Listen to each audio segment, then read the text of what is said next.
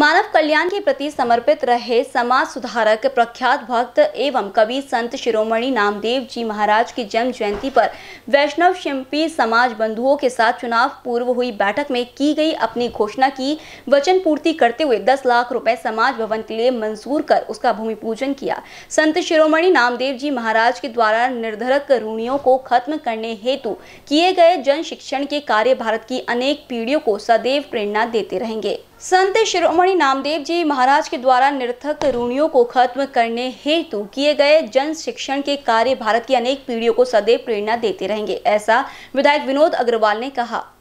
गोंदिया से BC news के लिए अभिषेक भटनागर की रिपोर्ट।